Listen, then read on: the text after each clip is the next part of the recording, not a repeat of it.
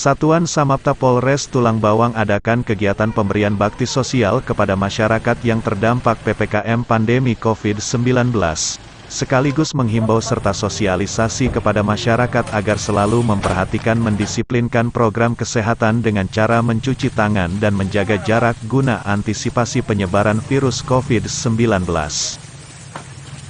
Acara bakti sosial ini dipimpin langsung oleh Kasat Samapta Ibtu Samsul Bahri SAP dan KBO Samapta Ibda Sigit Yuda yang diselenggarakan di Kecamatan Banjar Agung dan Kecamatan Banjar Margo, yaitu Kampung Banjar Agung, Kampung Tunggal Warga, Kampung Purwajaya, Kampung Agung Dalam, dan Kampung Penawar Jaya.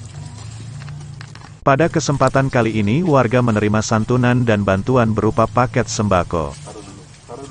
Ibtu Samsul Bahri mengatakan bantuan kali ini disalurkan kepada 10 warga yang berada di Kecamatan Banjar Agung dan Kecamatan Banjar Margo yaitu Sartiem 72 tahun, Yudi 38 tahun, Sari 29 tahun, Jamila 84 tahun, Sumina 63 tahun, Tumina 76 tahun, Sundari 98 tahun, Cipto 69 tahun, Rusdi 63 tahun, dan dia 31 tahun.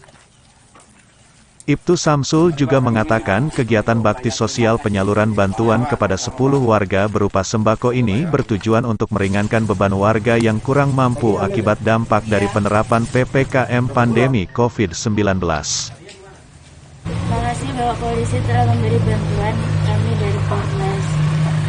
Terima kasih Pak. Dari Tulang Bawang Cahaya Lampung TV, Akif melaporkan.